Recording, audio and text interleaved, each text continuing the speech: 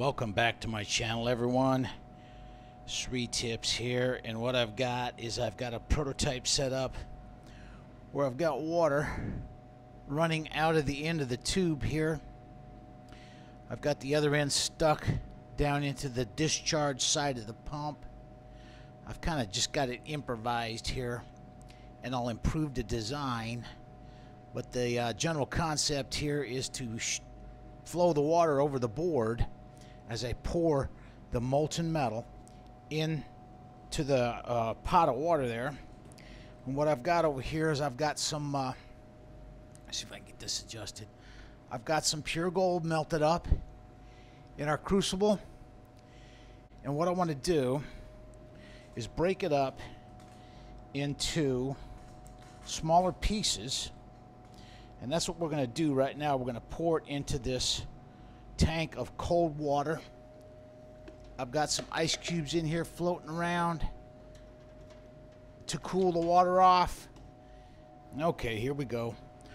I've got a face shield on, I've got gloves and my protective equipment on. What I'm going to do is take our crucible here, our furnace with the molten gold in it, and we're going to pour the molten gold now on this piece of wood and form some shot of gold. We're going to test out our new design here of water.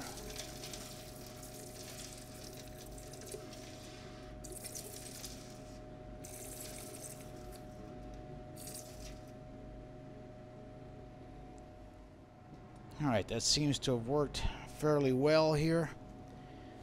Uh, there's a close-up of the little spout of water I have pouring over the board. It kept the board from getting uh, burnt this time. And if you see here what I did, I took my little pump and I just put the discharge, I put I stuck a tube down inside the discharged and connected it with some uh, zip ties and that was enough. There's enough pressure coming out of that pump to uh, create a little bit of a flow up here to keep the board cool as I poured the molten metal onto the board.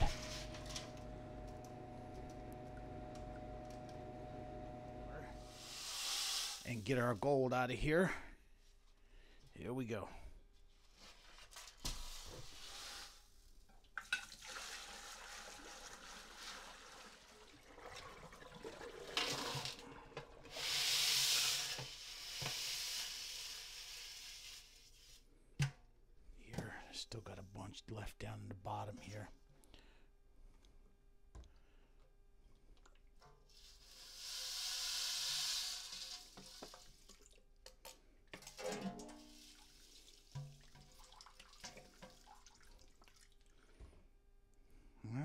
Got it all out.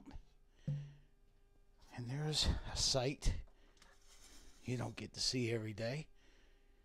It's about 15 troy ounces of pure gold formed into flakes.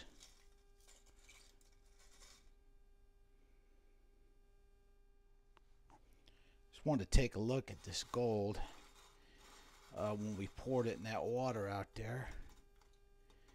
Made some very interesting shapes when it hit the water.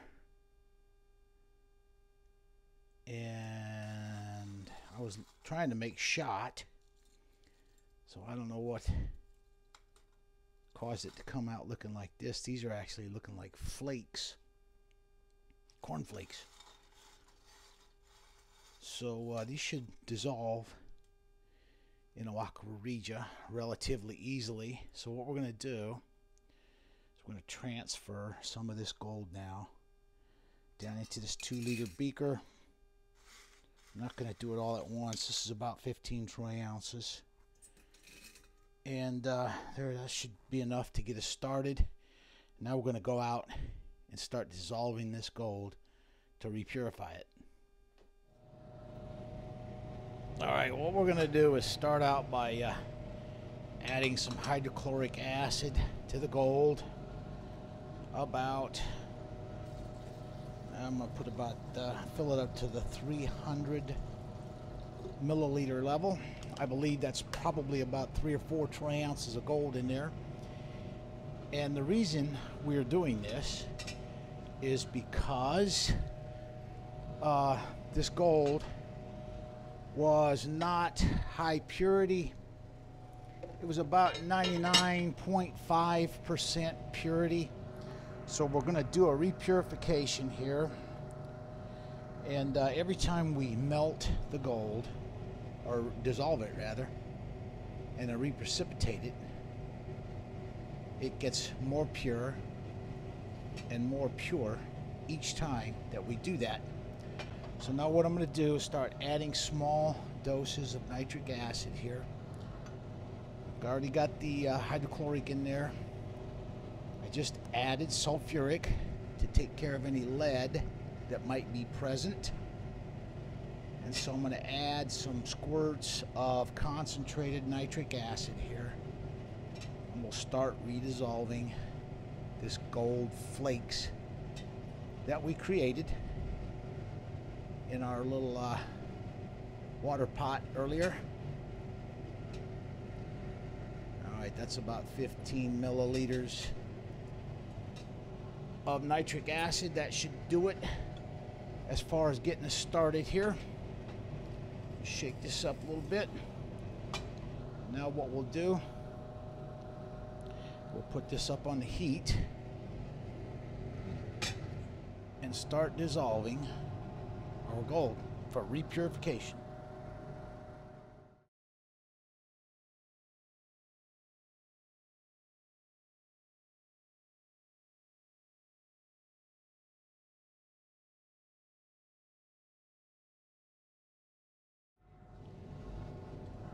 Okay, we've been on about a half hour now, and we've got some of the gold to go into solution. I added about 15 more milliliters of nitric acid off camera, so there's a total of 30 in there. I'm adding some hydrochloric acid here just to make sure we stay hydrated and we don't stall.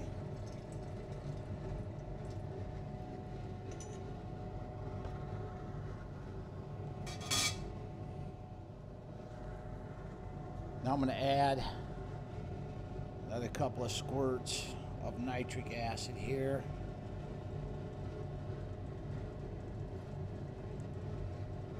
Get an immediate reaction because that metal is hot in there. Plus I just added fresh hydrochloric acid.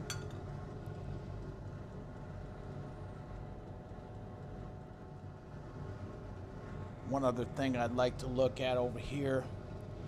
If you look down here, I've got a uh, small drain tube. And this thing is connected to the uh, ducting for the exhaust of my fan. And what happens if any rain comes down the stack? It collects in a little plenum up where the fan is.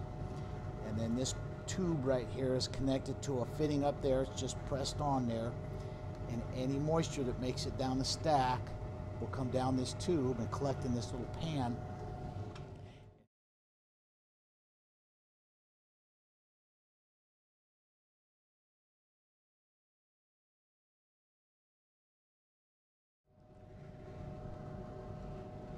Our solution back here has been boiling now for about an hour and a half.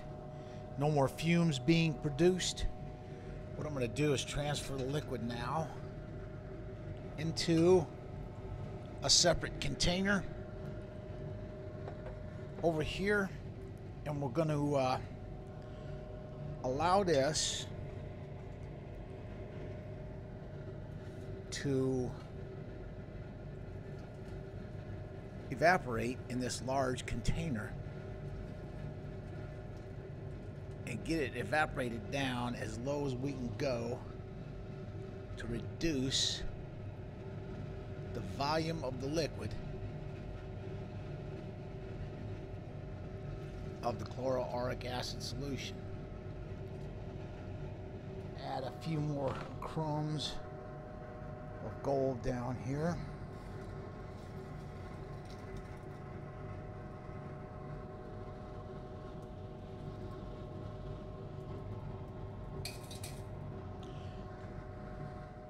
I'm gonna put some hydrochloric acid in here with the gold.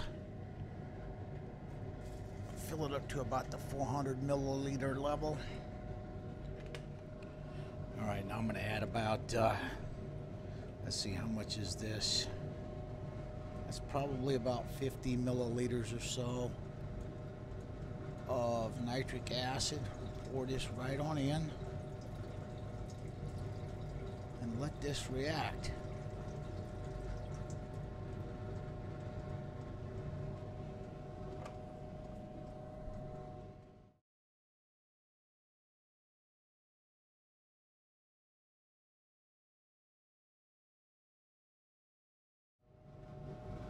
This reaction's been on the heat now for about half an hour. I've got uh, 200 milliliters of hydrochloric acid. I'm going to add this in slowly and make sure that we've got plenty of fresh hydrochloric acid to complete this reaction.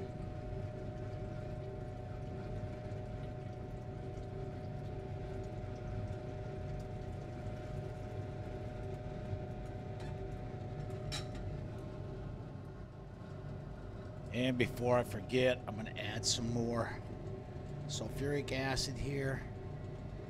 Since I added fresh gold to this.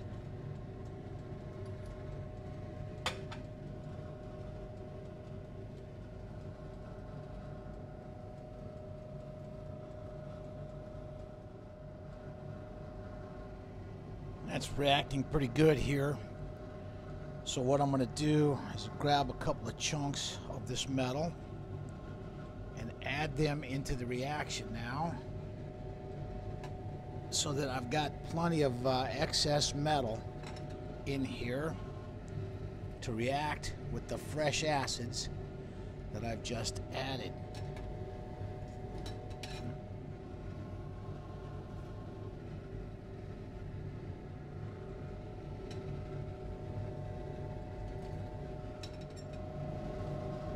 All right, this has been on boiling now for about an hour and a half. I've added most of the gold to that now. That's all I got left.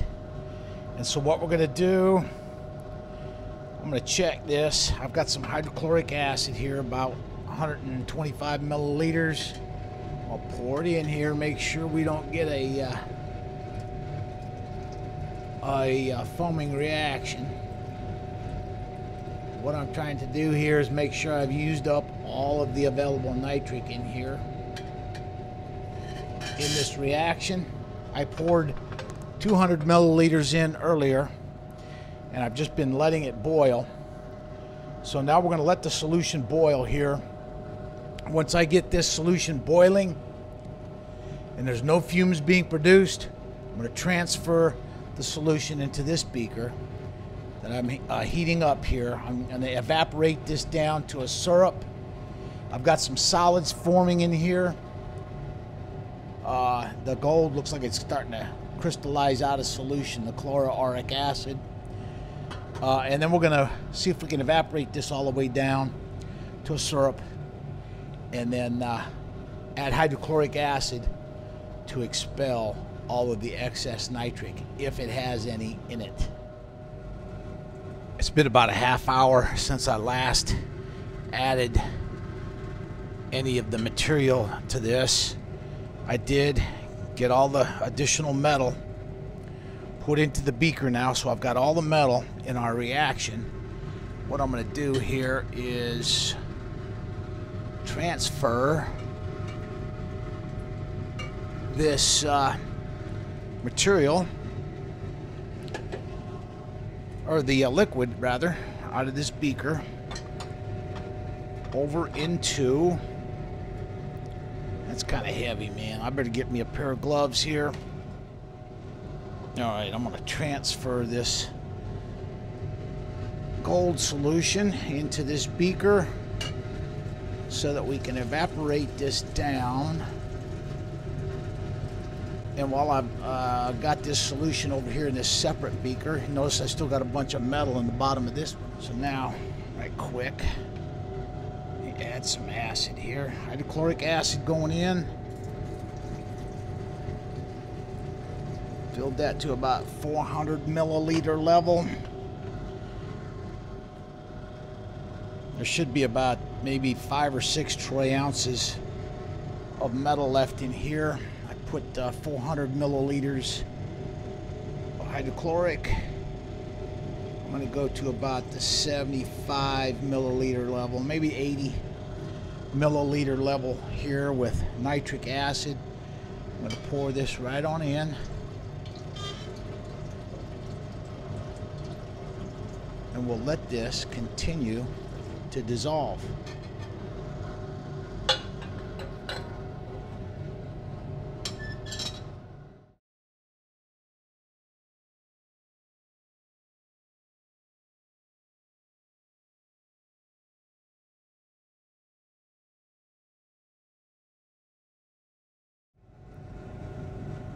This has been on boiling now for about a half hour since we did add more metal. I'm going to add a little bit more sulfuric acid here to take care of any lead that we might get in there. And now what I'm going to do is measure out a little bit more hydrochloric acid. I'm going to go with another 200 milliliters here. What happens is the nitric, after we add the nitric acid, that's about 175 milliliters after we add that nitric acid, all the available hydrochloric acid gets used up in here in the reaction. And so we've got to add more hydrochloric acid here to make sure that we don't have an excess of nitric in here with our gold because the hydrochloric will get consumed in the reaction and then there's nothing with the nitric to combine with to form aqua regia and we end up with an excess of nitric in our solution. So I'm going to let this come back to the boil and see if we can get rid of all the fume production here. I think we've got this uh, reaction up here complete. I am going to transfer the uh, dissolved gold out of this large beaker now it's got just a few little pieces of gold left down on the bottom. Transfer this into this larger beaker over here so we can uh, continue our evaporation process. And as you can see, we just got a few little pieces of gold left in the bottom of the beaker. I'm going to save those for a future refining. I'm not going to continue to try to dissolve every bit of this. Uh, so I'm just going to rinse these off real well and save them.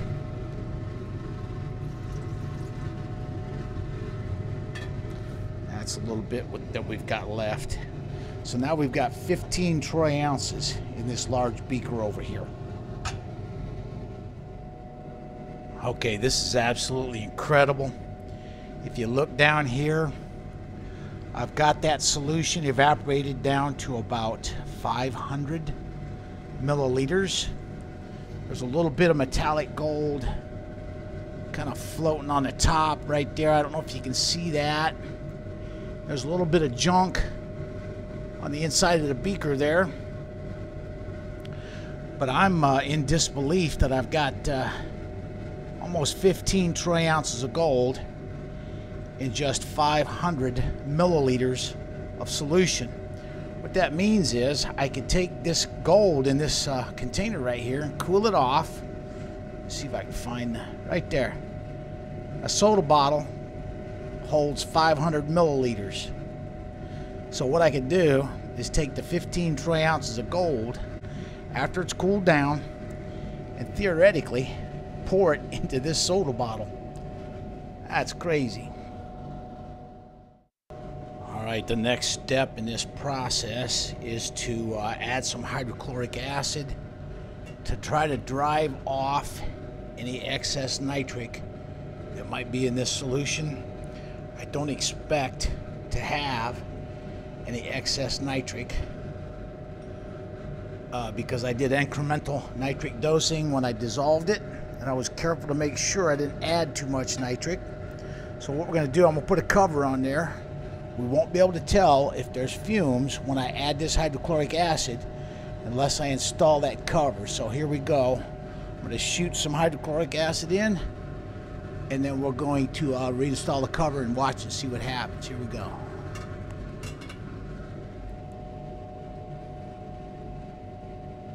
I don't see a whole bunch of fumes evolving.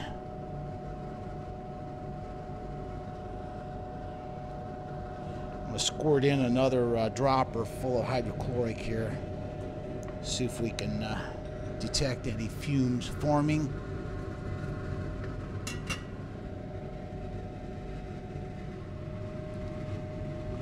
I don't see anything.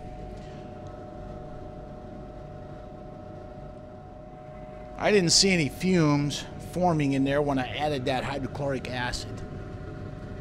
So I'm going to pull it down off of the heat now.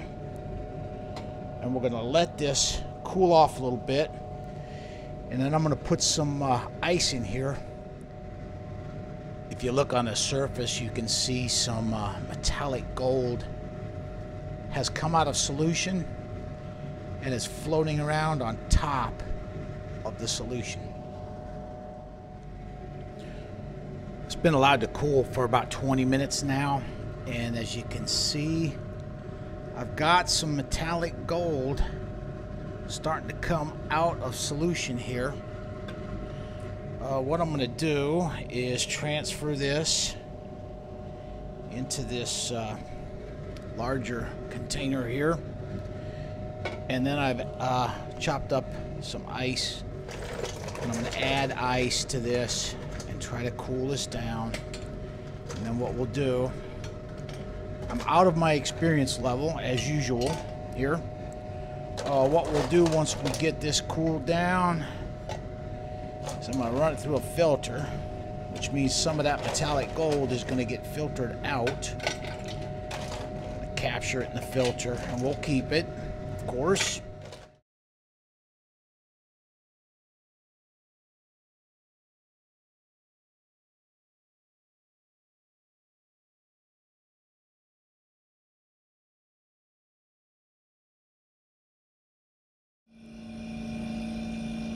Here we go. We've got the solution cooled down. I'm going to pour it through this filter here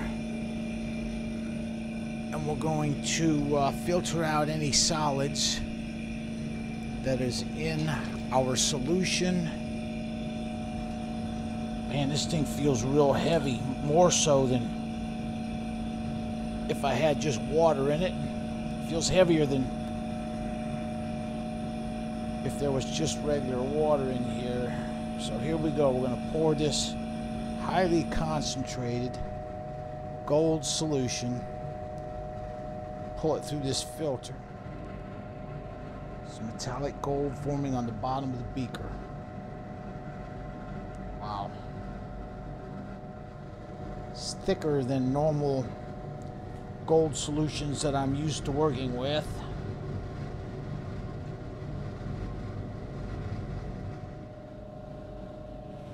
All right, I'm looking at this, and in my mind, I'm going, uh, kind of freaking out a little bit here.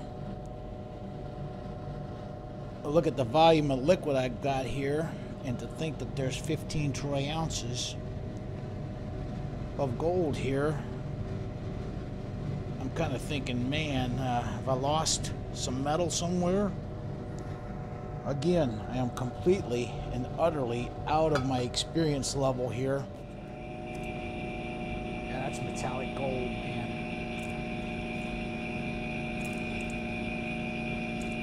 beautiful.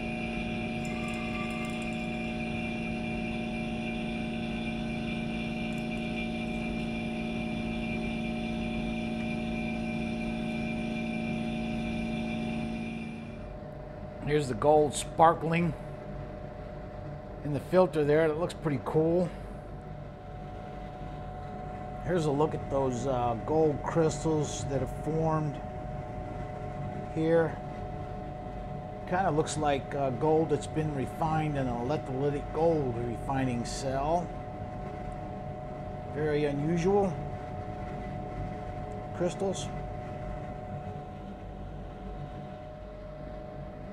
All right, I've got everything pulled through the filter that will go. What I'm going to do is put the funnel over here into a uh, beaker I've got set aside for it just to sit in. Now, what I'll do to capture the gold in this funnel here, I'm going to add this filter back into this container and then we'll uh, just dissolve it. I've got a four liter beaker here. Here's our filtered solution. And lo and behold, I think I see some more metallic gold coming out of solution on the bottom of here. I'm just going to go ahead and add this in right now. Jeez. I do not like working with large quantities of gold and highly concentrated solutions. I'm to tell you right now. So now we've got our uh, gold in here. Gosh, I spattered some back here. Working with a large quantity of gold is no fun, no fun, no fun. All right, here we go. First spoon of sodium metabisulfite going in. See what happens here.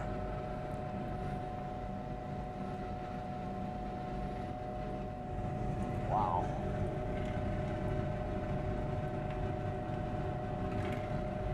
That's bizarre. All right, I'm just going to keep adding sodium metabisulfite here, spoons of it, until I get it all precipitated out. Here we go. highly concentrated solution of chloroauric acid.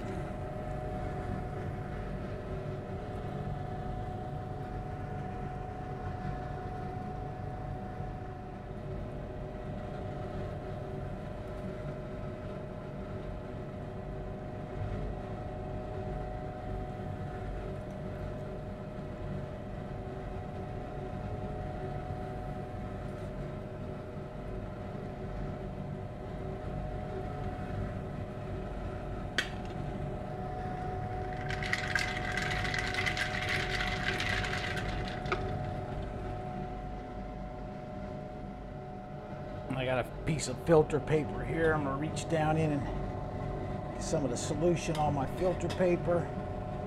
I'll do a stannous chloride test here, to see if we still got gold in solution. And as you can see by that stain, not very much, but we need to keep adding sodium metabisulfite to get the rest of the gold to drop out.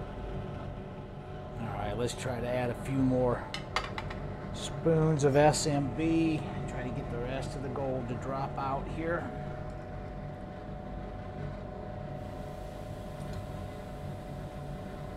Shouldn't take too much more to get it to all come out of solution now. All right, if I had to do this over again, I would dilute the solution before I tried to precipitate it.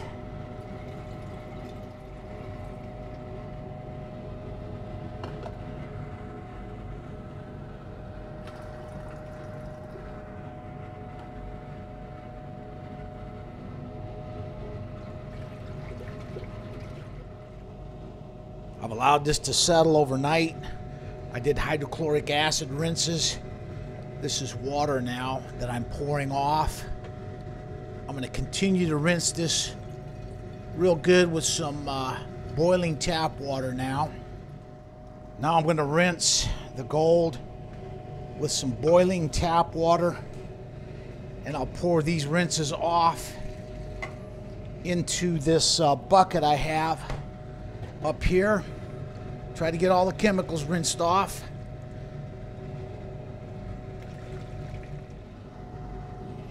Here we go. We're going to put a little bit of the gold in a freshly prepared melt dish here. Pour off some of this water first. And then we're going to take it over to the melt table. We're going to melt us up some of this gold here.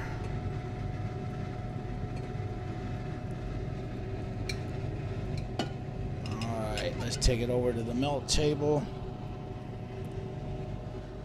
Make us a little bar out of this.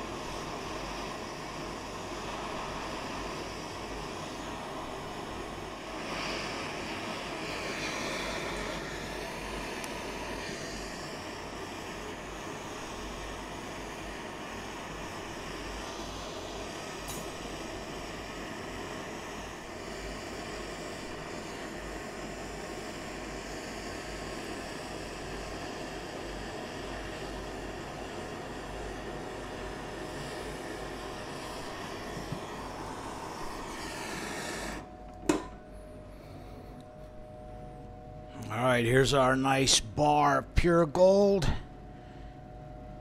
Put it down here in the water. And now what we'll do, got our melt dish here. Put some more gold in it, and now now we're gonna pour it into the uh, bucket of water there and make some shot. All right, let's see if we can get some gold in this thing. It's gonna still be hot here, so I gotta watch putting it in there or it'll try to spatter on me.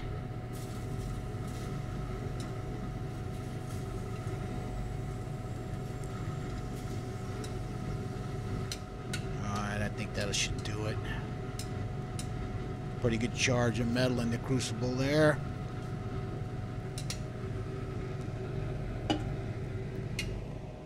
Alright, let's transfer this over to the melt table now. And we'll start melting this charge.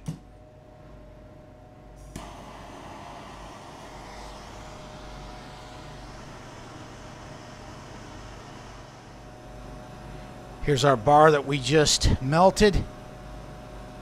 Pure gold. Looks real good. Nice and bright and shiny. Very nice.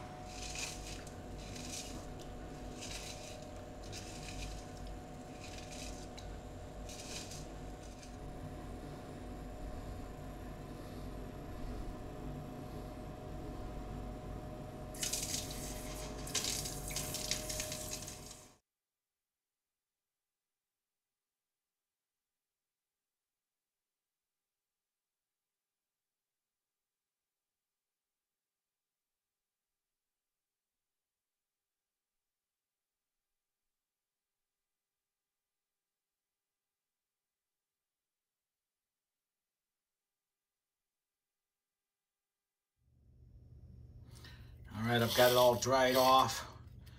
I've got a uh, container here zeroed out. Let's see what kind of weight we got.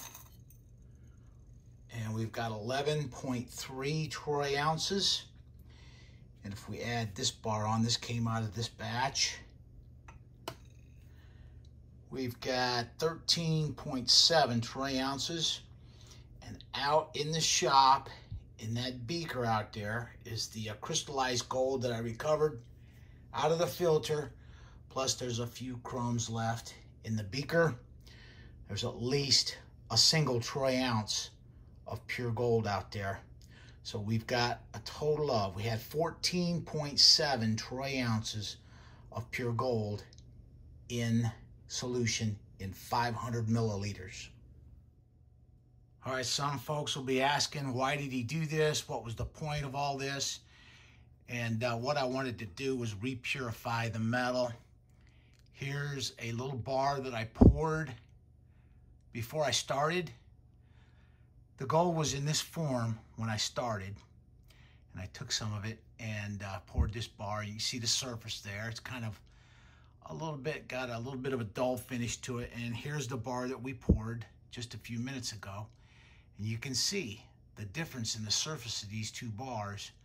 This one's got some contamination.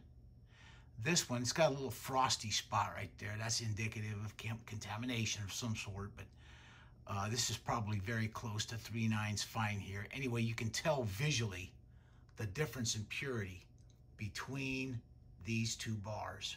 This is before the refining, and this is the bar we poured after the refining. This will conclude this video. The point of this video was to see if I could get 15 troy ounces of pure gold in just 500 milliliters of solution. And we did that. If I had to do this again, I would dilute the solution before I tried to precipitate. Gold does not like to precipitate from a concentrated solution. And then uh, the other point that I was going to try to make here is uh, when I sell the gold to a refiner, the guy I sell it to, I like it in this form. So it's easier to divide it up when it's in this form. And then of course we got the uh, two bars. This is the bar that I melted before I started the video. And you can see on the surface there, it's got some contamination on it. It's a little bit like uh, frosty. And then this is the bar after the refining.